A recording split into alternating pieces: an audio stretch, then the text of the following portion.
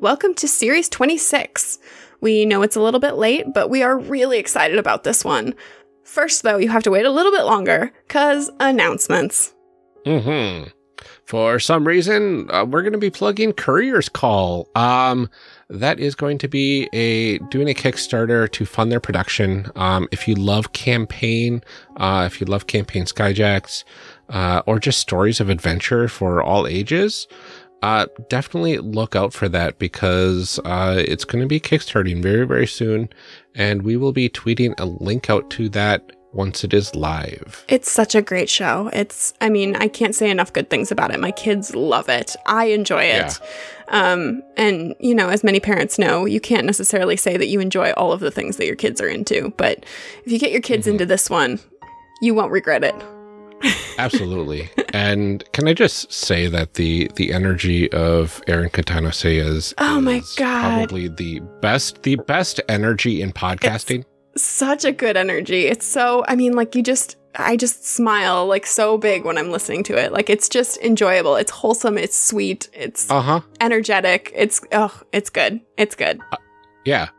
Do yourself a favor. There's only like 5 episodes out right now, so you're not that far behind. Do it yeah, that that show is just amazing. Get get into it if you haven't. Yes, absolutely. Speaking of things that we love, as always, we love getting reviews from you. So we do ask that you take a moment to review us on Apple Podcasts or a podcatcher of your choice, and we will read it out, like this one from Michael D in Germany on iTunes. It is titled Inspiring and Entertaining. On the one hand, Character Creation Cast is a very entertaining show that has introduced me to several Gate games. Amelia and Ryan are delightful hosts who are really good at creating compelling characters. On the other hand, this podcast has been the most useful source for me to improve my skills as a player and GM, especially the episodes on Session Zero, safety tools, or how to use other games within the one within one's campaign did increase the quality and fun I had at the table. Well, thank you, Michael. That was really thank nice. Thank you so much, Michael. I'm really glad that we're helping. Yeah, one other side note I wanted to say is right now Podchaser is doing a uh, a drive for every review and every creator uh, reply to a review. Um, they are donating 25 cents to Meals on Wheels. Oh, very um, nice. So if you go ahead and yeah, so if you go ahead and leave some reviews for podcasts such as ours, um, you can create some money for some charity. And Absolutely. that's just pretty cool. And all you have to do is tell us how great we are. Yeah, exactly. Um, you can actually go to podchaser.charactercreationcast.com and that'll actually take you right to our page. Um, and from there you could you could search for your favorite podcasts and leave some good reviews and, and help some people. And make some podcast hosts feel really good. Uh-huh. Just bring some joy into lives in general. Yeah, help people emotionally. Yeah. And nourish them. It's all good. Just put put good energy out into the world. We need that. Abs- absolutely. We need more Ryan energy in the world right now. I agree. Well, with all of that out of the way, here's the episode. Mm-hmm. Enjoy.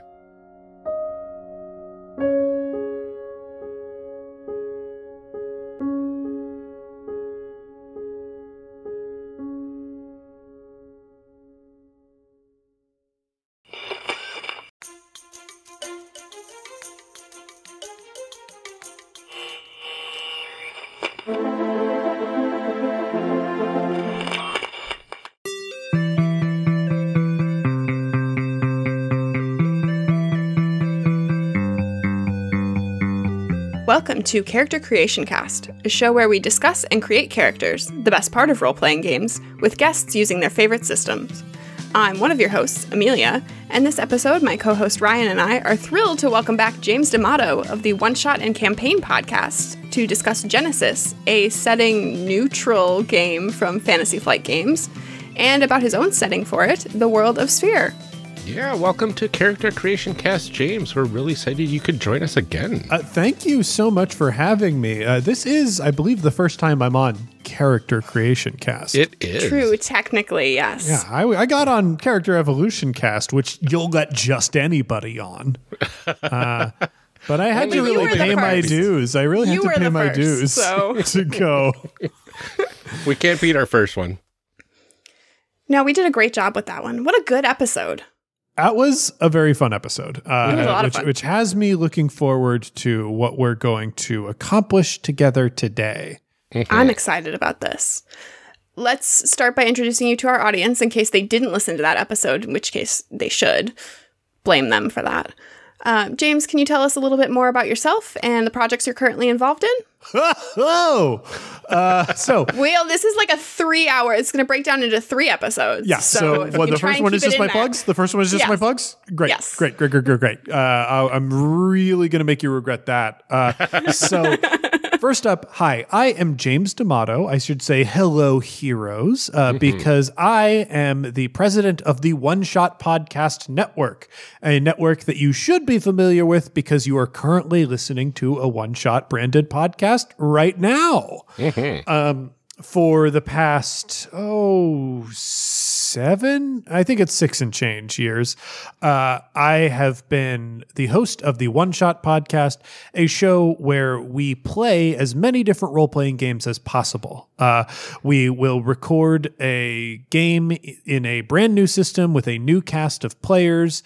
Uh, release what we recorded as hour long episodes uh, and you know just tear through as many different games as possible to discover the wide, wild world of RPGs. Um, we have featured at this point over a hundred games, uh, and we've just done some really cool stuff that I'm very proud of. I also happen to run the Campaign Podcast, a podcast uh, that is dedicated to long form role playing. Uh, so that is a sustained narrative rather than one shot, which does short stories. Campaign does long stories. Uh, and what we're about to play, or the characters that we're about to build are from the setting uh, that we use in the campaign podcast. Mm-hmm. Uh, other things that I'm working on, though, in free that, time. Oh, you're really gonna regret.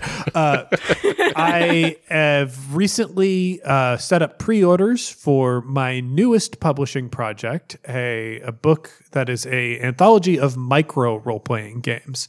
So games that are less than two pages. They're between 800 and 500 words. Uh, I have collected 40 different game designers to create 40 different small games that we're presenting in a book uh, published by Adams Media, which is an imprint of Simon and Schuster. So this anthology is going to be available wherever books are sold. Uh, including big bookstores like Barnes and Noble, assuming bookstores are a thing in the foreseeable future, which is, you know, it's looking a little grim right now.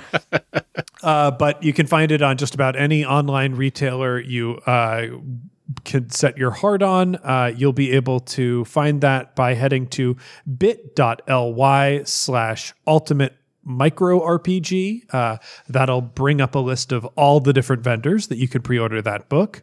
Um, the next thing is upcoming on the One Shot Network. I will soon be producing a new show uh, where I'll also be hosting. Uh, that is set in the world of Temerant uh, from the Kingkiller Chronicles. And one thing uh, that makes this very exciting is uh, doing that with me is Patrick Rothfuss, the author of the Kingkiller Chronicles.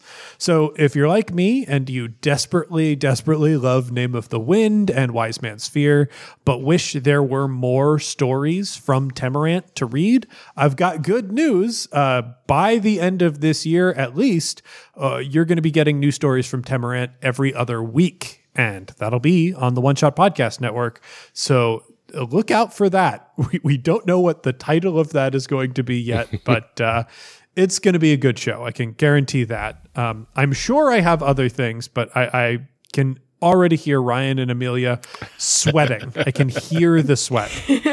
no, I'm thinking, okay, so now when are you going to come back on our show and do that game? Well, yeah, um, I mean, we're designing the game for that. I can tell you right now, we are in the middle of designing that game. Uh, so, you know, probably when we're further along in that process. Well, you know where to find us.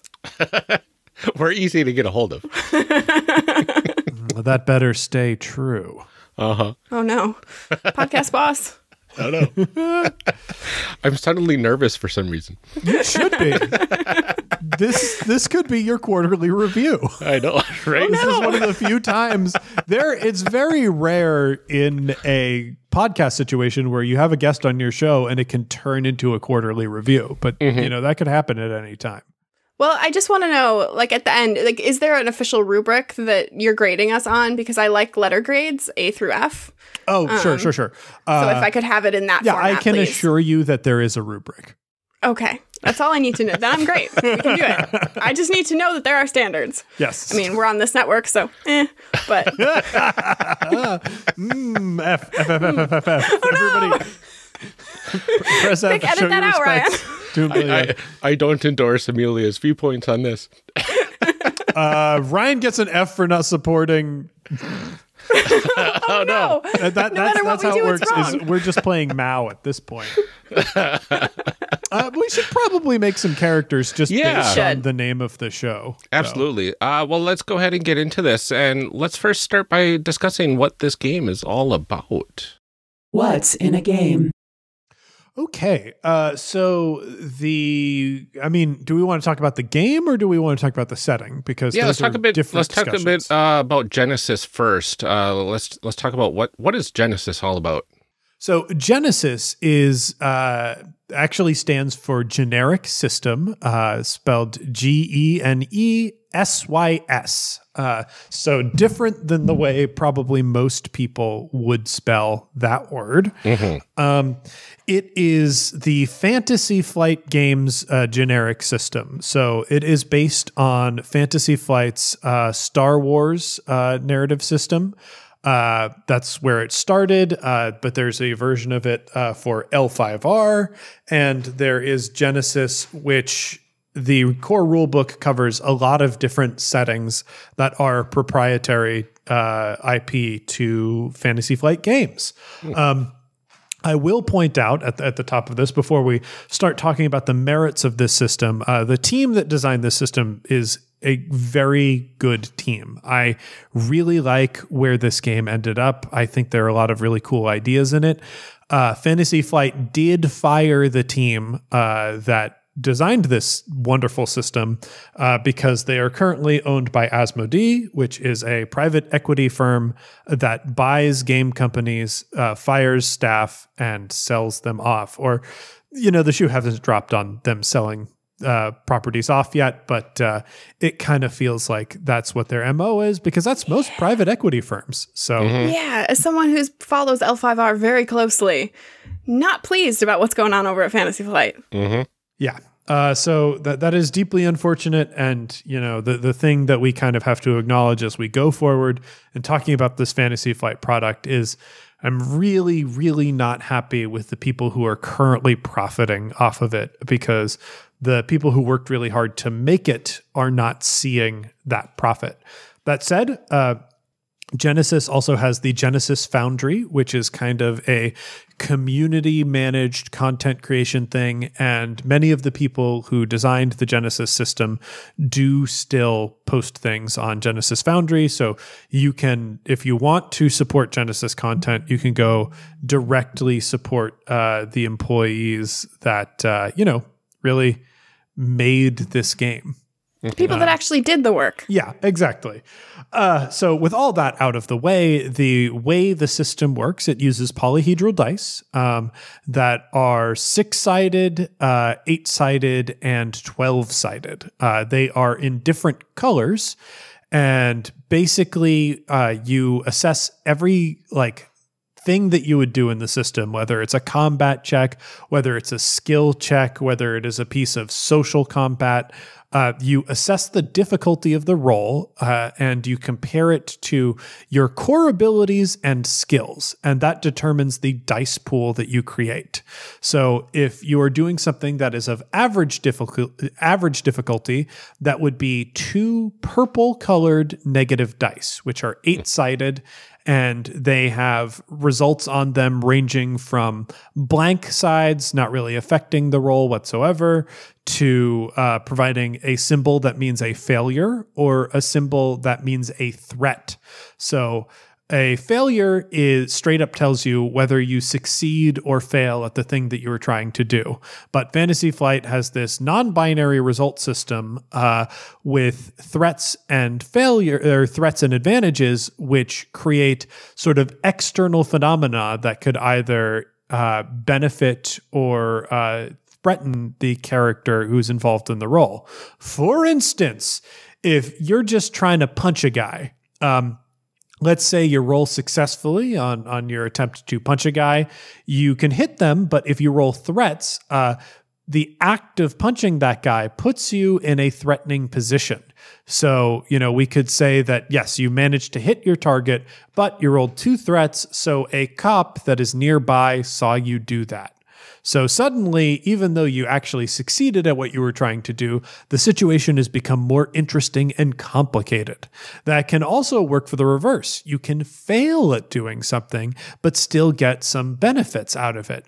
Let's say you were trying to climb a tree uh, you might uh, fail to actually climb the tree, but you shake loose some coconuts in your attempt. Uh, so, you know, you roll a failure. Um, that failure says that you're not climbing that tree, but the, the advantage that you roll accompanying that says a coconut falls loose. So, you know, now you have a coconut. So good for you.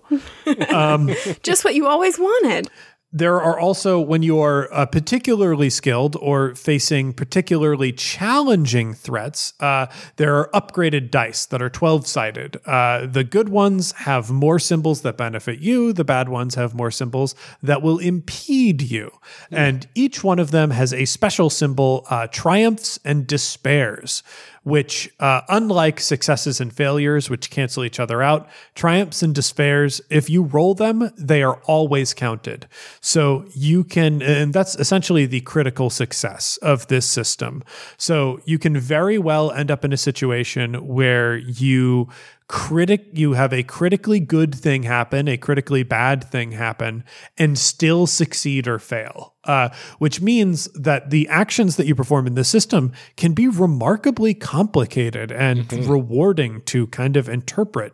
It takes a little bit of getting used to especially if you're used to a binary result system like dungeons and dragons. Uh, but once you get the hang of it it's really freeing and it makes the dice rolling affect play in a way that that's just more satisfying in my opinion. Yeah, I love the the mixture that you get of advantages and disadvantages and triumphs and threats and like it it really adds a lot of color to the role playing that you're doing instead of just yes, I did it, no, I didn't. Yes, I did it, but no, but um I think it adds a lot of options for adding like almost your own like color commentary to the situation. Yeah. And I, I will say uh, there are points uh, where it can be exhausting, you know, where you really just wanted to roll something to see if you succeeded or failed. And like what popped up was like three threats. And you're like, I don't know, man. I was doing a perception check. Leave me alone. I'll save them for the next turn, I guess. Yeah. Uh, there is a mechanical uh, system at work underneath that where We'll learn about various derived stats and whatnot in the system.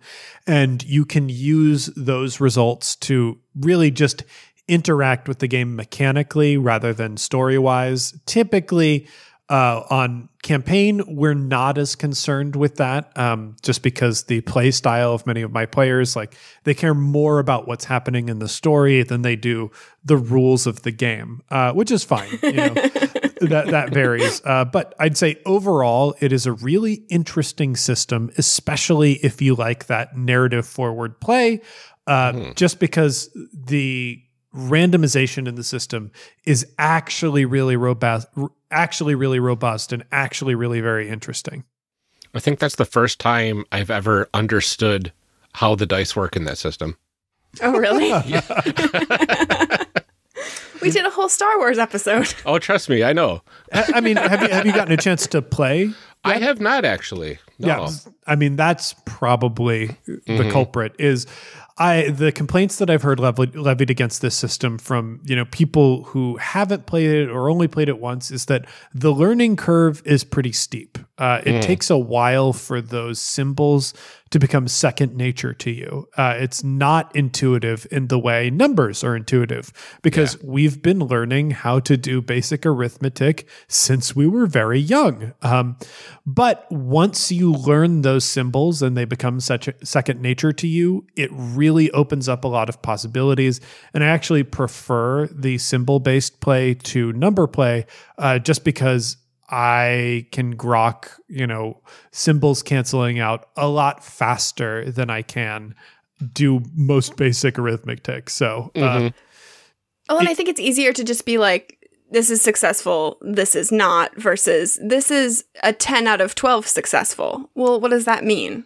and sometimes in, in some systems like d&d it kind of means nothing and in some systems it means a lot uh, and you know it, you'll it, it's very difficult to determine which situations you're in and some people rule house rule that from table to table as well which can make things more confusing I, generally speaking, really like this system and the way it works. There's a lot of rich mechanical, fiddly stuff that you can get into, especially as you get into talents and things like that. Uh, but that doesn't stop you from playing. Uh, if you don't understand that, you can still play this and have a good time. And if you do understand that, you can really dig into it and enjoy yourself. Uh, it's one of those games that really tries to straddle a very difficult parallel from the people who really like story based play and the people who really like deep mechanical power gamey stuff.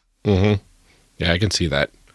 So now Genesys is a you know a genre neutral like sort of thing where you can kind of create your own worlds and settings and stuff in there, right?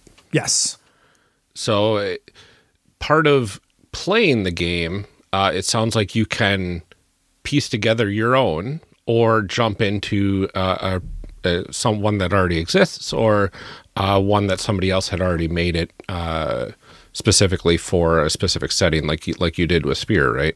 Yes, absolutely. So uh, this is uh, being a generic system. Uh, I have to imagine your audience is at least a little bit familiar with generic systems, but it tries to give you enough basic rules with the serial numbers filed off that you can fit it into almost any box. And whether that's, I want to, you know, play in a pre existing IP that I'm a really big fan of. Like, there are people who, you know, back when it was just the Star Wars game, uh, hacked it to create Mass Effect. So if you're a Mass Effect fan, you could easily take uh, the Genesys core system and fill in the gaps to make your own Mass Effect system. Uh, you can also use like the Realms of Terrinoth, which is like a big FFG property. Uh, the setting for Twilight Imperium, uh, which is another big FFG game, that is included in the Genesys core book. So if you're a big Twilight Imperium nerd and you want to play that lion that's on the front of the box or whatever that's you can do it. You can do it. And the, the system is designed for you to do that and to make that process easier.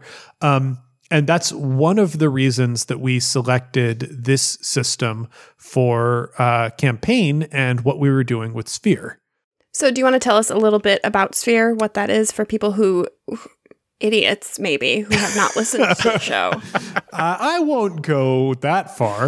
Um, I, I will say, are you impoverishing yourself by not listening to the show? Obviously, uh, obviously, but you know, to each their own. I, I'm almost there. I, I, Have you almost started listening? I, I almost started listening. Is that what that means? Um, I, yeah, I was I was kind of intimidated by uh, like how how amazing it was that I wasn't in the right mind space to like devote my attention to it. But uh, now, but now what, are- I- what could you possibly devote your mind to? Exactly. so uh, I'm actually uh, going to be finishing up Courier's Call uh, and then diving into campaign right after that. Very cool. Uh, yeah. So Speir, for for those that don't know, uh, is a setting that we designed based on the music of the Decemberists and uh, the board game that the Decemberists made in collaboration with Keith Baker, Illimat. Um, it is uh, like I another way that I kind of elevator pitch it. It's like sort of a magical treasure island meets at least the core story is a magical treasure island meets weekend at bernie's uh, the campaign Oh, so Muppet Treasure Island. uh, yeah. uh, it takes itself a little bit more seriously than that. Uh, so the core campaign is about a group of sky pirates who are on the edge of society, uh, running from the Red Feather Syndicate, which is a kind of uh, Elizabethan era mega corporation that controls all of the ability to fly in the world, unless you manage to steal your own ship. Uh, and so they're already in kind of hot water uh, because they're opposing the major world power, but also uh, the core cast of characters is covering up a terrible secret on the ship, which is the captain is dead and they are using necromancy to pretend that he is still alive uh, so that they can keep sailing the ship without a mutiny taking place or some really destabilizing forces uh, making themselves known. So that is where we start in campaign. Uh, this- Ryan has just understood why I'm into this show now. Yep. The the setting itself there are flying ships. Uh, there are giant birds that people can ride. Uh, it is a post calamity setting so it's not quite post apocalyptic uh, a- an event happened that pretty much destroyed most of the world um, and certainly most of the organized nations of the world. And what remains are uh, groups that have popped up in cities and towns that are now disconnected from each other on a national level. So there are lots of isolated pockets of humanity around the world that cannot get in contact because the seas are incredibly dangerous to travel. They're full of monsters and terrible storms. Uh, the seasons don't flow in order anymore. It might be winter for a week and then autumn uh, and then summer and then fall for two months. Uh, It's wild and out of control, and people are struggling to survive. Uh, someone discovered the technology uh, to make a substance called featherweave that, when exposed to heat, uh, will become lighter than air and also attempt to move away from that heat. So, uh, people have used this to build skyships, and the world is kind of starting to rediscover itself, but there are no formal nations. There's just this mega corporation that manufactures featherweave and kind of people who are dealing with the fact that this company is taking over the world. Uh, and so that's the the general gist of the setting. Normally, at this part, we ask what kind of things you need to play the game. And we've already covered it a little bit that Fantasy Flight has their patented weird dice. Um, so you do need those to play this game. You generally need a copy of the core book. Um, that's really it. Yeah, There's yeah, there are two supplements for this book. There's the Realms of Terrinoth, and then there's um the Android one. Um a Netrunner. something with Beanstalk. Uh, I have it on my bookshelf. Shadow bookshelf, of the Beanstalk. Shadow of the Beanstalk. Shadow of the there. Beanstalk. It is, I think, based on Netrunner. So, like, Yeah. Yeah. Um so I have that one too. I should be able to name it, but you have sort of the starts of settings if you want to go and play around in those too. Yeah, Um, unfortunately, but really you just need the core not book. information currently available to play in Speir beyond uh, what we released on the podcast. So if you're really hankering for some Skyjack stuff, uh, listen to the podcast and you can kind of meander through it on your own. We do hope to create either a bespoke role playing game or a world book at some point, but for right now, uh, it's we're we're keeping those cards close to our chest. So, what kind of stories and themes then are, are we looking to explore in in this world? So, uh, if, if you don't know Decemberist music, it is kind of melancholic, I will say. Uh, and a lot of it is based on classic folk tales. One of their most popular albums uh, is The Crane Wife, which is based on the Japanese folk tale of a man who takes kindness on a wounded crane, uh, and then the next day, a beautiful woman arrives on his doorstep to marry him. They live happily together, but they're poor, so uh, he asks his wife to weave, and she creates a beautiful, beautiful fabric. Uh, and he gets kind of selfish and makes her weave more, and it slowly makes her health deteriorate until he discovers that she is a crane um, and that uh, she has been harming herself in order to make this fabric and and she flies away. Uh, so there are all sorts of different folk tales that uh, get pulled into decemberist music. Um, there are some based on just classic folk music. There are some based on other sort of mythology and folk tales. In the latest album, uh, they took rus- rusalkas, which I think are Ukrainian uh, sort of river spirits that uh, tempt people into the water and then drown them. Uh, there's a lot of music in Decemberist discography about sad sailors living difficult lives. Um, so we took that and we mashed it up with classic adventure fiction. Uh, And by that, I mean Treasure Island by Robert Louis Stevenson.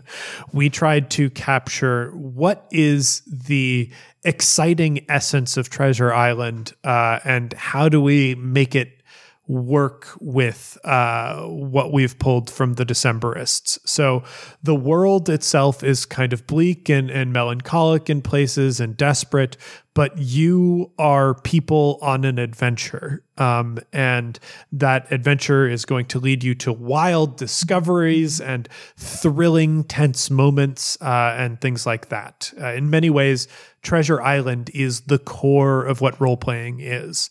Back before we had uh, Tolkien, like the first real adventure story about people going to get treasure is Treasure Island, baby. Uh, and so that that's that's what it is. And, and right now, for Skyjacks particularly, uh, we are talking about corsairs, uh, people who own and operate sky ships outside the uh, convenience of the Red Feather Syndicate. Um, so th- those are the general heroes of the setting. Though, if you're a listener to Skyjack's Courier's Call, you know that the Swiftwell Courier Service is a privateer outfit, meaning they are uh, legal owners of their pirate ships in the law in the eyes of the Red Feather Syndicate, but they operate outside the syndicate and independent of them. Hmm. So a lot of it is about people who travel on sky ships. It makes a lot of sense. We've talked a little bit about the the things that inspired you in making the setting, but what inspired you to make it to begin with? Why was this the world that you wanted to build? Ah, well, I guess to eat and live is a big one. Oh. That's like a kind of a That's big a one. true artist's inspiration. I mean, the, the the behind the scenes thing is that uh, Star Wars campaign wrapped up, and everybody uh, who was involved in Star Wars campaign who was not Cat uh, wanted to keep the show going, uh, mainly because it was a big thing for us. Uh, You know, we we loved that game uh, just as as players. We liked each. We loved each other as friends. You know, we wanted to keep playing together, and so we had to come up with something that we thought would be interesting to play together. And the idea that Johnny and JPC came up with together when they thought Star Wars campaign might wrap up and there might not be anything to replace it, they were like Sky Pirates. That's the idea they came up with. And so uh, when we eventually talked to each other about it, uh, Sky Pirates sort of became like, well, my real connection to pirates is the Decemberists. I think of uh, a lot of nautical stuff is is tied up in their music, and uh, that is like a very primal connection that, that I have to ideas of of maritime nautical stories. So uh, we just sort of went forward from there. That's awesome. So, before we dive into character creation, what are some of the basic terms and concepts from Genesys that we're going to need to know uh, to, in order to actually create the characters. Of course. So, uh, from Genesys, uh, things that you need to understand are let me pull up. There we go. Uh, you need to know your attributes, your characteristics, and your skills. Uh, those are the big core things. Uh, there are also um, weapons, which I'd say the least important, and talents, which are, you know, the next most important thing after skills. So your attributes are actually derived, so we'll ignore those. And actually, okay. huh, uh, you know what? Forget it. I'm starting in the wrong order. The real thing that we need to think about before all of this is archetypes. Hmm. Archetypes uh, can be uh, what other systems would call species or race, um, uh, but it's also kind of like your general way of being. So your archetype could be something like elf or dwarf, uh, or it could be intellectual. Uh, or let me pull up some of the other archetypes uh, that there are in the world uh, cyborg, clone, catfolk. Uh, so there are a lot of different archetypes that you could choose from, and that gives us some of the base characteristics for your character. Um, it will uh, determine how many build points you have uh, when you're making your character. Very nice. Uh, so the things that uh, the I'm not sure it'll be helpful for you to go into your career before we finish talking about archetypes. So uh, let's talk about char- general character concepts that uh, Ryan and Amelia have. Um, were there any ideas that you were bringing into this? Any uh, things that you desired to play before we even really get to talking about mechanics? Ooh. We're diving Ooh. right into let's create some people. Let's make some people. Let's make some people. So, Ryan. Yeah. Do you have any ideas of what you want to do? I didn't really have. You're the most like wide open here. Yeah, I I have like a complete blank slate when it comes to um, skyjacks and anything in the world of uh, of Speir. Excellent. Well, we uh, thankfully, because we are playing in Speir, have a way uh, of dealing with that. Um, one of the aspects that we have introduced to the system that does not really exist within the system uh, basically is the luminaries, um, mm. which in Illimat, the luminaries are these tarot sized cards that introduce wild new game mechanics to the game as you mm. play it.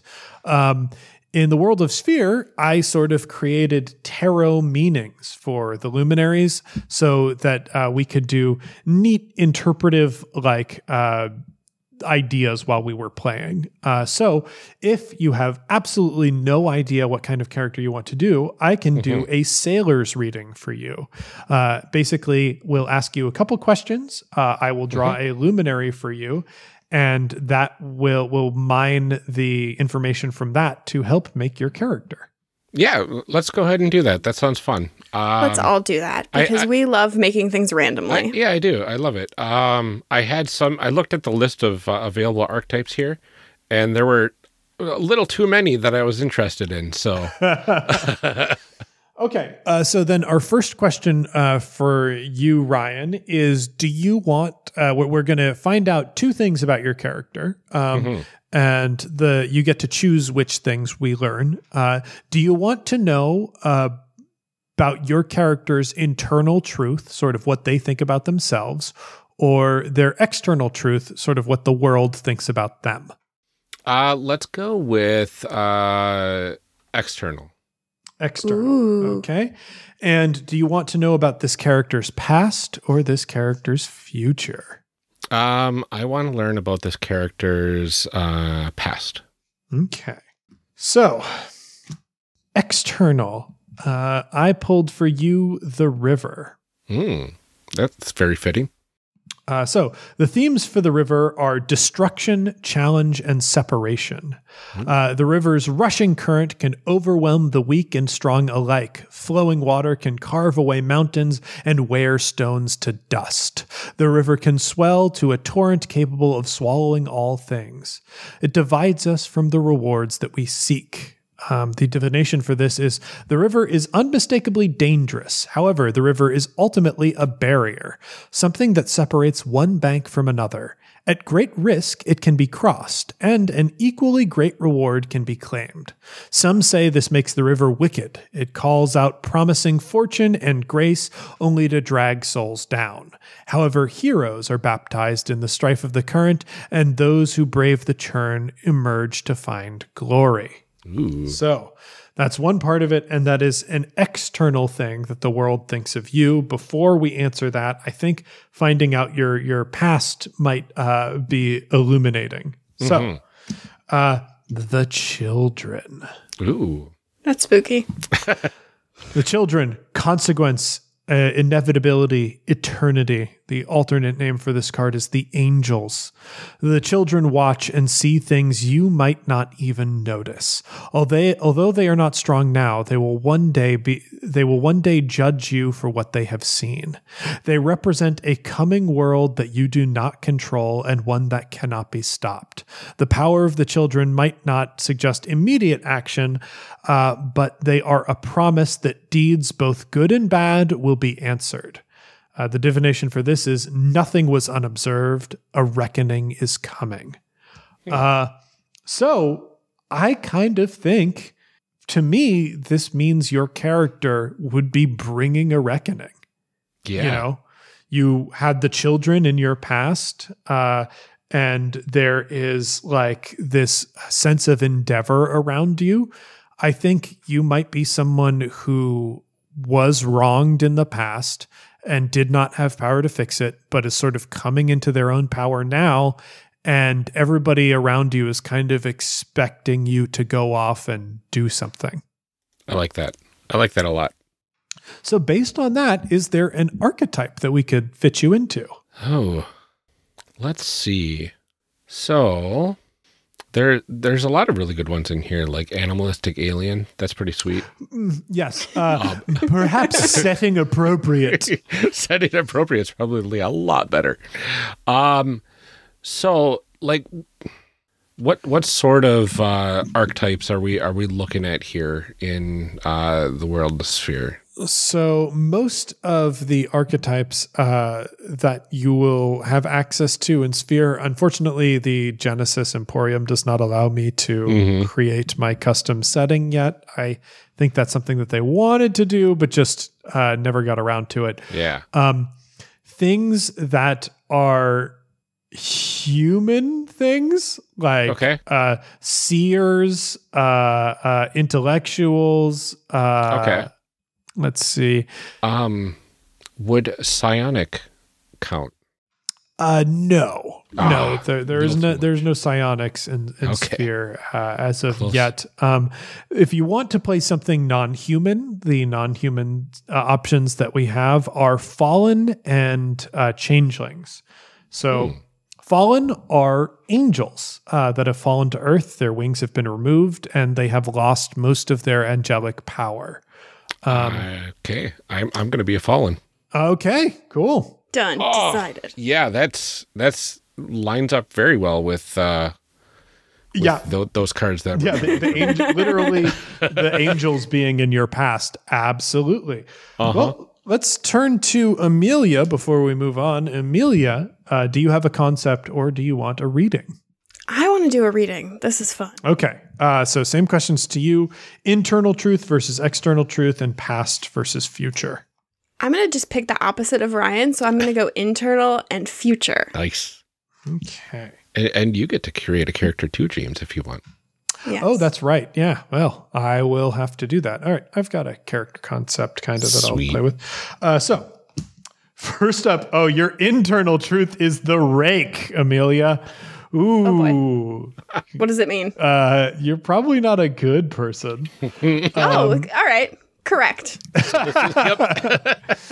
So the rake, uh, Accurate. the alternate name for this one is the wolf. Greed, appetite, cruelty, and resentment. The rake is ruled by appetite and the desire to pursue it. He is willing to do unspeakable things to see his desires fulfilled. Uh, while he can temporarily be pla- uh, be placated, he will eventually always want more. He is treated by others as a normal person, but it is a facade that conceals his bestial nature. He can be depended upon to pursue desire, but never trusted. Uh, the rake almost always suggests danger. Uh, while desire is natural, the rake makes it dark. Something base is being pursued relentlessly at the expense of other things. This is the sort of desire that hurts people and destroys beauty. So, Oh, I'm here for this. let's find out what your future holds. Uh oh. Holy cow! Wild. Okay. Uh, this is interesting. This turned from like a sort of dread pirate situations into perhaps a romantic comedy situation. Oh boy. as you pulled the Union. Uh, the Union, uh, all, the alternate name being the Communion, fulfillment, harmony, wholeness, and love. The union binds people and things together. This luminary draws separate things into a stronger whole, capable of great of things greater than the sum of its parts. It can only act where there is desire, cooperation, and existing bonds. Magicians all respect love as an as uh, an incredibly powerful force, and the union is an expression of love's power. F- friends, family, and lovers are never stronger than when they are in the light of the union. The union favors harmony. Uh, where there is a bond, the union grants strength. This power can be stretched beyond any distance or barrier. Souls in the thrall of the union can find strength even if they are separated by death. However, the bond must be true, without selfishness or cynicism, in order for this power to work. Hmm. Okay, so you know what movie I just watched recently? What's that? The Princess Bride. okay. Yes, yes, yes. So I'm getting very much of a Dread Pirate Roberts situation. Uh huh. Hmm. Interesting. Are we just making the Princess Bride right now? Yes, we are. I don't quite know where uh, the avenging angel fits into it, but Uh-huh. who knows? Well, that's just That was Inigo in the Montoya. sequel. It's not. Oh yeah, I guess Most that is people don't Anita know about it. Montoya. Yeah, that is that is exactly the case. I stand corrected. Okay, Look, look, we're gonna ruin your game. Are you excited? impossible. uh, again, no, we can't do any worse than Johnny's. is. Ja- done yeah, to this. Travis Werewolf. Travis Werewolf. Okay. So I will draw uh, for me, and I'm just sort of randomly going to place these cards. I don't know if I'm learning about the past or future, internal or external. So it looks like I'm learning an external truth and my future. Uh, so external is the audience, which is an interesting card to pull. Um, let me find it. Here we go. The audience, uh, also known as the spectators, action, drama, and suspense. The audience observes and judges all things. This is not a passive observation. Simply by observing, the audience changes events. Those under the auspices of the audience blend myth and reality. Real events turn into stories and songs. When people do or say things that seem larger than life, there is a chance that the audience is trying to that uh, they are trying to satisfy the audience. Uh, everything is about to become a bit unbelievable. The people and world around you will seem like players on a stage and may even fold you into the show. Uh, so that's an external truth for me. So people kind of see my character as a larger than life mythic figure, which is really interesting. Um, I'm going So to Andre the Giant. Yeah, I'm, I'm learning. I do, I think we're sort of ru- really rubbing against the limits of uh, what could possibly be our Princess Bride narrative here. Um, the other card that I pulled is the newborn. The newborn, also known as the infant, beginnings, responsibility, and potential. The newborn is the beginning of a journey. Unlike most of the luminaries, it does not have strong desires. It suggests that something or someone needs to give or receive care. Ultimately, uh, how that care is addressed is outside the newborn's control, as it calls uh, as it calls no power its own. The newborn could be a fresh start for one who has been brought into a world they don't understand. It could be the herald of an uh, of an era of tremendous personal responsibility. Uh, with uh, which requires nurturing attention. No matter what, the newborn signals potential. Uh, with time and care, it can grow. So, I kind of think my character is a mythic figure who is being tasked uh, with overseeing the well being of another person. Um, so I might be someone who is uh, who has led a life that has uh, resulted in, in stories and songs, uh, but now I kind of have to put that aside and throw myself into caring for something uh, that is more vulnerable than me. Hmm. I like the idea that potentially there are all of these stories and songs about you, but only like half of them are true. Mhm. And now you have to actually prove that you can do those things.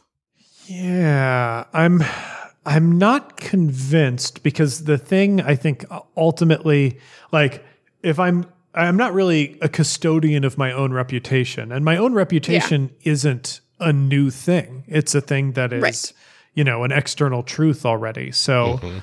I, I, I kind of think it means that uh, I, I'm more like an Obi Wan figure. I have lived this big adventurous life, but right now in front of me is Luke Skywalker, and I've got to you know guide him on a journey to where he needs to be. Um, All right. Even if it means setting all that stuff aside. Nice.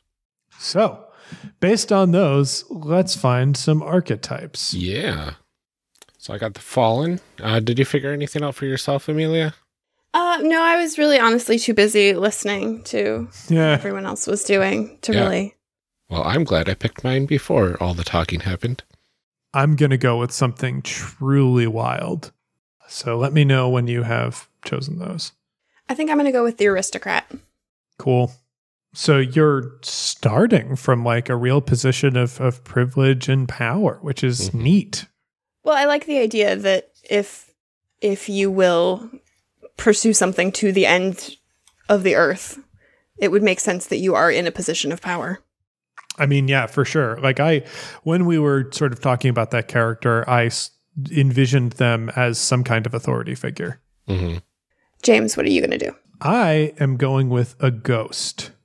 Ooh. Ooh, Um, so- discuss. I'm already dead, uh, but I'm living on as a spirit, uh, and I am watching over someone who needs my help. Hmm. Ooh, I like this. Thank you for joining us for part one of this character creation series. We'll be back in part two, picking up right where we left off. Character Creation Cast is a production of the One Shot Podcast Network and can be found online at www.charactercreationcast.com. Head to the website to get more information on our hosts, this show, and even our press kit. Character Creation Cast can also be found on Twitter at CreationCast or on our Discord server at discord.charactercreationcast.com. I'm one of your hosts, Ryan Boelter, and I can be found on Twitter at Lord Neptune or online at lordneptune.com. Our other host, Amelia Antrim, can be found on Twitter at Ginger Reckoning. Music for this episode is used with a Creative Commons license or with permission from the podcast they originated from. Further information can be found within the show notes. Our main theme music is Hero Remix by Steve Combs and is used with a Creative Commons license. This podcast is owned by us under Creative Commons. This episode was edited by Ryan Boelter. Further information for the game systems used and today's guests can be found in the show notes. If you'd like to leave us a rating or review, we have links to various review platforms out there, including Apple Podcasts, in our show notes. Also, check the show notes for links to our other projects. Thanks for joining us, and remember, we find that the best part of any role playing game is character creation. So go out there and create some amazing people. We will see you next time.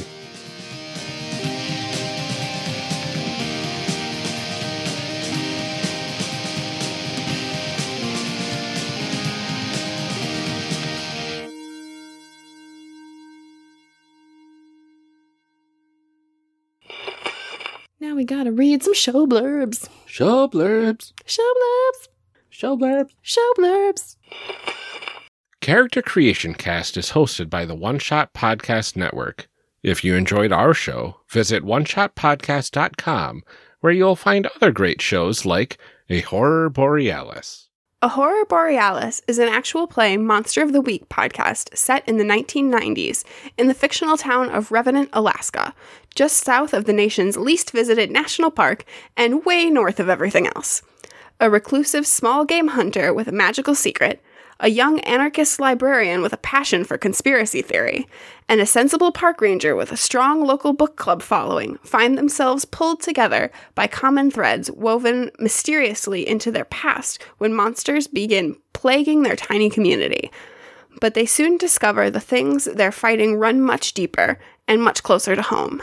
Tune in for a story about identity, empathy, community, mental illness, and healing, and stay for the beloved local diner.